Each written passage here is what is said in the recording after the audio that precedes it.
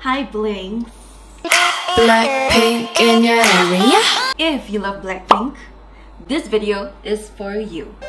So, there was one day, my husband came to me and uh, told me that Blackpink came out with a new music video, Pink Venom. So, I watched the music video with him and I was like, dang, the costumes! And I was just like, let's make that. So I think what really hit me when watching the music video was I like how the costumes had a lot of movements which, which actually helped with their dancing, you know, moving it around and making the drapey parts of the costumes really move, creating a lot more things going on. I love that. So let's make that today. But before we go and start making the costumes, let's just go and do some research as to the costume and how it looks, a little bit more close up so we know exactly what we're looking for. Alright, so what I did was I went on Google and I went to type Blackpink Pink pink Venom. I'm gonna go ahead to show you my screen recording here. So I was looking at uh, different costumes that uh, were shown in the music video and oddly enough, I really like the full black costumes over here. So I'm just gonna go ahead and show you. I actually really like this one over here, this general look. I think the main thing as to why I really like the looks because you know I've, we've got lots of um, different fabrics and lots of different layers going on with the costumes and the different things draping down the costumes. So we're gonna recreate that look today. Best part is 10 minutes and we're gonna be done. If you don't believe me, just keep watching. Alright, let's look at the aesthetics first. So over here, I've just opened one of the images that we found on Google and I'm gonna zoom into the different costumes and oh my goodness, they look, look, look amazing. Look at Jisoo here. Oh my gosh, she looks so good. Girl, your bangs, I love it. So, I think one thing I really like about the whole look that Jisoo has is actually the black straps that are draping down on her. And I think that actually brings out a lot of, like, in a way, Safi is still very feminine, but also really strong. So I also really like how Jennie has those drapes going down, really, really long drapes going down over there, and that actually brings out a lot of the look, especially when she's dancing, a lot of movements going on. So I really like that as well. So of course, everyone has a little bit of that going on, but we're going to recreate one that is kind of a mix between Jisoo and Jennie's one. In terms of the length, in terms of the style, we're going to kind of bring it together, alright? So I'm just going to go ahead and screenshot this picture and I'm going to draw it out so you can actually see what we're going to look at.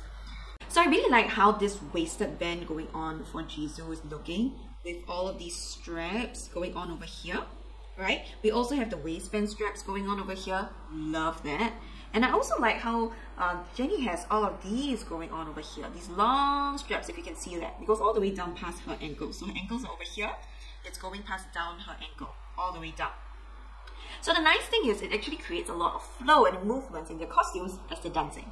So to top it all off, I actually like how the color scheme is actually bringing it together. Really a little bit of a grayish brown tones and you also have very muted greens and a little bit of um, like a silverish grey but not too loud. And the black in itself as well well black but not in a true true black. That created a lot of a fusion going on which I really love. And so I picked out a fabric that I already had at hand that I feel would actually bring out this vibe as well. And this is the fabric over here that we're going to use. Ta-da! So this fabric over here is really beautiful. I created a couple of costumes using this fabric before and I love it.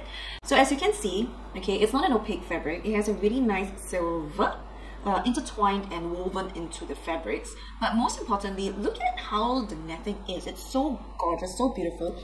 It's not opaque in the sense that it actually pulls it in by itself, but it actually gives off the color of whatever the base color is going to be, which I love.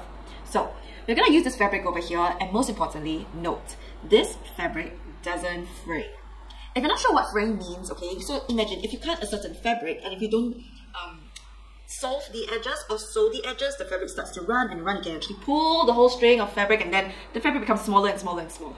So that's the meaning of fray. So we want to make sure that this costume doesn't fray so that we have a costume ready in 10 minutes. Just a side note, you're gonna watch a video at the end of this with Putra dancing in this costume. So this costume is dedicated to all of you blinks.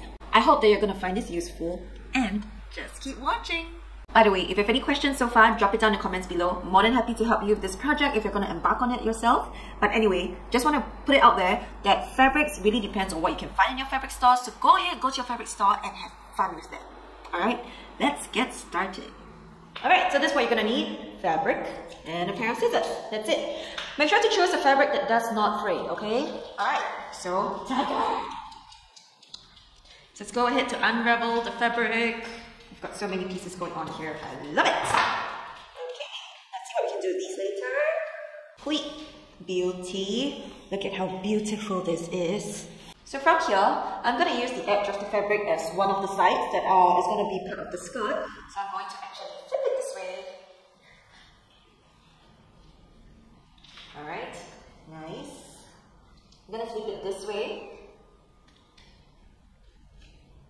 Just adjusting this to make it look nice. It doesn't have to be very even on both sides because it's really up to you how long you want. But the main thing I want you to be sure of is where the length from here to here is going to be from your waist to the length of the skirt. Okay, because we're going to tie this around the waist, alright? So, go ahead, check it out, make sure that this generally looks alright to you. If you want it a little bit longer, go ahead, just make it a little bit longer, adjust it this way. Okay, so once you're done with this, I want you to stretch the fabric to make sure that there's stretch in the fabric across this way. We call this the bias. So when you're stretching it according to the corners this way, we call it stretching against the bias. So this has the most stretch, alright? Great. So what you're going to do from here is you're then going to use your scissors to cut that out.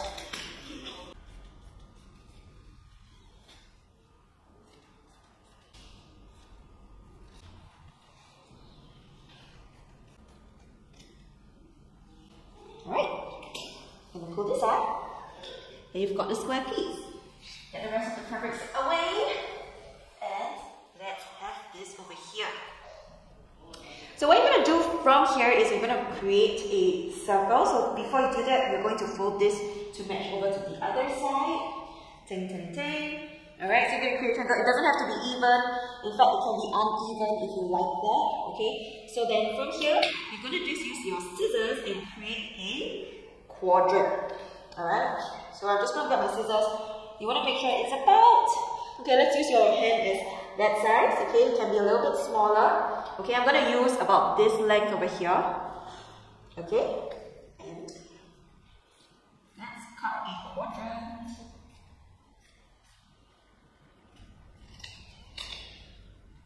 Ting, out. So right now you can see this piece is off. You're just going to cut a quadrant. And these are all of the pieces that we have. There you go. Pretty simple so far. Let's open it to find out how it looks. Alright, now that you have this, let's just keep it aside first because we might just use that this circle in a little while. But let's open this to see how it looks. Huh, very cute. We've got this going on here.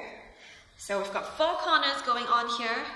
Really like it. I like how there are the different lengths going on.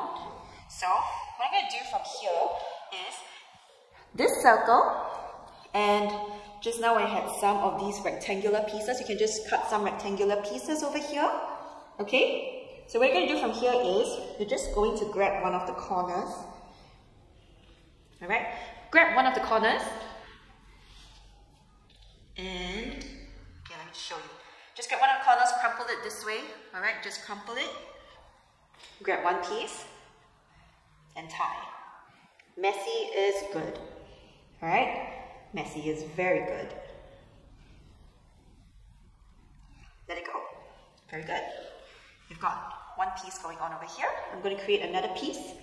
Let's find another side. I'm going to grab another rectangular piece and I'm going to tie this up.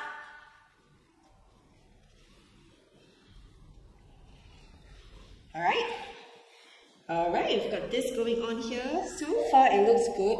I'm going to get one more piece over here. One more rectangular piece. I'm just going to tie it up and just play with it. Might adjust it later. I don't know. I'm going to leave one side a lot longer than the other side and just tie. Okay, so far we've got this going on. Looks great. I've got this small circle over here. I think what I'm going to do is, let's see. Let's tie one small piece out as well. I'm just grabbing one piece, crumpling out from the skirt, using the circle, and tie a knot. Okay. Now, let's see how this looks. It looks like nothing, but all right, let's try it on. Are you ready for the final results?